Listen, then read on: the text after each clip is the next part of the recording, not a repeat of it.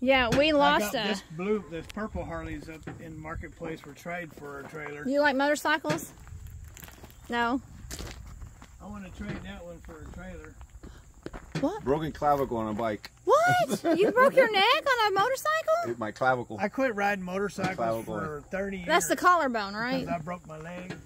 I wouldn't, wouldn't ride them no more. Friend of mine just- But uh, now that I'm older, I, I ain't gonna get out there and be stupid. But I'm gonna. Can I take some pictures from my After, buddy? well, sure. Take pictures all you want. Both of these you'll get rid of. Not this red one. Not this The black one and the purple one. This one Yeah. and that one. And these are. That's an 04 custom with an S&S motor in it.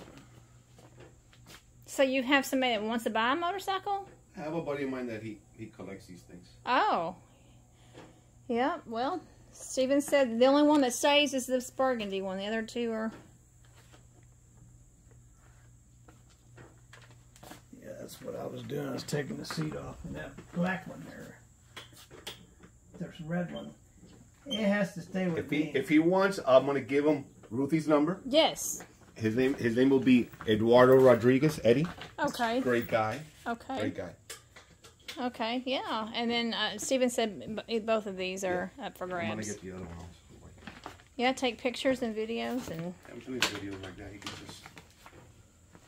And we got all kinds of videos on our YouTube channel about our motorcycles. All kinds. We have over 6,000 videos in four years. Oh.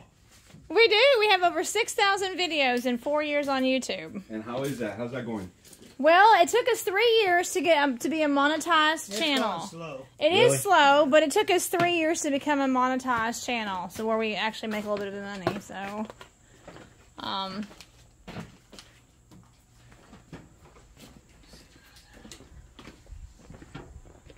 I got a four wheeler and a side side by side. oh, okay, Yeah, I got it. okay.